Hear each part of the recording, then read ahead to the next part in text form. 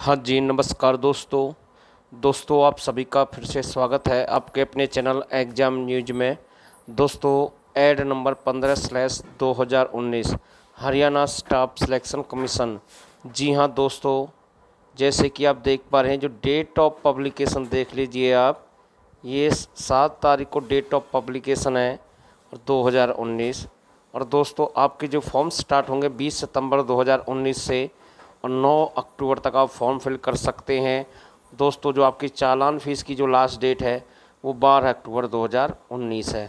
दोस्तों, नई भर्ती आई है, संपूर्ण जानकारी आपको इस वीडियो में मिलेगी।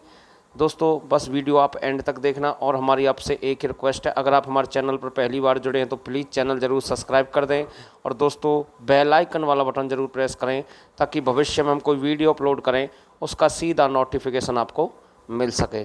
दोस्तों ये नई भर्ती जारी कर दी गई है सरकार के द्वारा। जी हाँ तैतालीस सौ बाईस पोस्ट है, काफ़ी ज़्यादा पोस्ट है।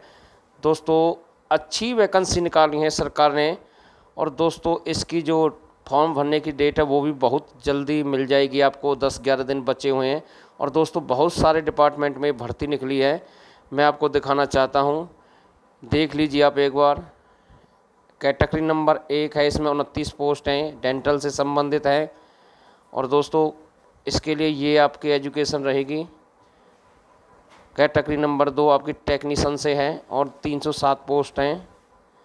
दोस्तों, सभी के लिए अलग अलग है। इसमें लेबोरेटरी अटेंडेंट के लिए है ये।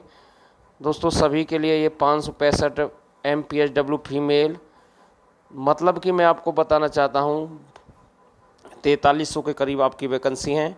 अच्छा मौका है। हेल्थ डिपार्टमेंट में वैकेंसी निकली हैं। दोस्तों, पूरी जानकारी आपको हम अपनी तरफ़ से दे रहे हैं। आप एचएससी के साइट पर जाकर वहाँ कर, वहाँ जाएँगे, जैसे ही आपको पूरी जानकारी वहाँ पर मिल जाएगी।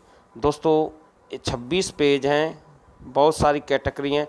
देख लीजिए, स्टाफ नर्स के लिए कितनी वैकेंसी हैं? पंद्रह दोस्तों, हमने अपनी तरफ़ से आप सभी को पूरी जानकारी दे दी है। आप एक बार नोटिस देख लें एच की साइट पर जाकर हो सकता है आपके लिए कोई ना कोई कैटेगरी हो आप जिसमें फॉर्म फिल कर सकें।